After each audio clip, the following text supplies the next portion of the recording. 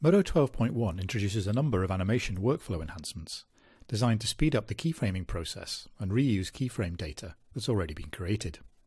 Driven actions add the ability to reuse, retime and rig action clips in the scene, allowing you to fully utilize actions within Modo for the first time. Creating a driven action creates a new channel in the scene which contains the animation from the action. This channel is defined by just two keyframes and is a linear percentage channel spanning the length of the animation. The keyframes in this channel can be moved anywhere in the timeline. This allows the action animation to be placed where you need it relative to any other animation in the scene and be easily retimed.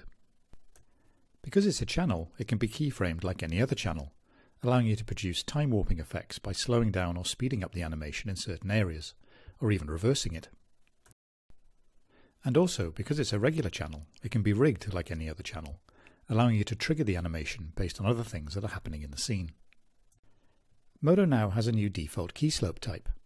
The smooth flat slope automatically adjusts the tangent handles of a key when the key is moved, so that the incoming and outgoing curve remains flat relative to any adjacent keys that it's level with. This results in a much smoother interpolation between keys, and will vastly reduce the amount of key adjustment required whilst animating. It's also now much easier to manipulate multiple keys in the gradient editor by using the new Box Transform tool. By clicking on the box and moving it, all the keys within it will be moved. By moving either the corners or edges of the box, all the keys within the box will be scaled. And by holding down Control and moving the corners, the box and keys within it will be deformed. The Mini Gradient Editor has also had a number of improvements in 12.1. In order to accommodate any tangent handle that might be placed outside of the clipped space of the Mini Gradient Editor window, the window will now automatically resize so that the handle is always accessible. The right-click menu now contains edit fields that allow you to enter exact values for the keys, allowing you to define accurate envelopes without having to open the full gradient editor.